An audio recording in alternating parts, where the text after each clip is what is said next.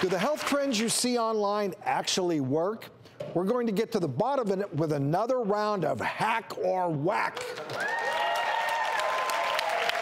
So, could the secret to a common skin concern be rubber bands?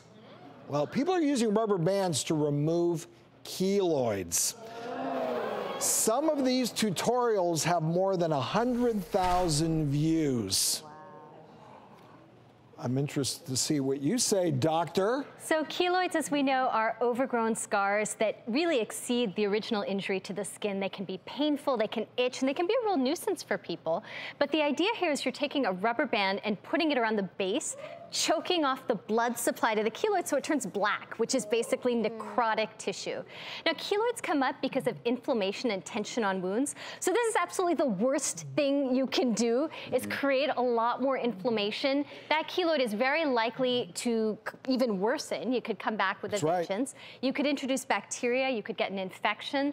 I, I just think this is so whack. I don't even know where to begin. People doing this themselves at home on a keloid is a bad idea. And so what, you know, what are the things we can do? Well, if you're forming a keloid, pressure therapy works. The injection of steroids uh, also works.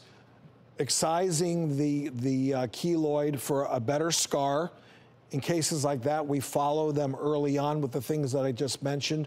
Radiation is sometimes used. So there's lots of options. Don't try to take care of them at home. Yeah. So if someone is having a surgery and they're prone to keloids as a plastic surgeon, would you say there's something they could ask their doctor like, hi doctor, I have keloids and I have an issue, so I wanna make sure I heal as nicely as possible. Can you do X, Y, or Z? Yes, we definitely, we sew things in a certain way to relieve all the tension on it and watch early on what can we do to prevent it, whether it be injecting steroids, uh, pressure on it, silicone sheeting on it, uh, radiation therapy, those are all options. So the same things you mentioned before. Yes. Yeah, but, but you're very proactive. You have them yeah. come back right away and you start that preemptively so that you nip it in the bud and it doesn't develop in the first place.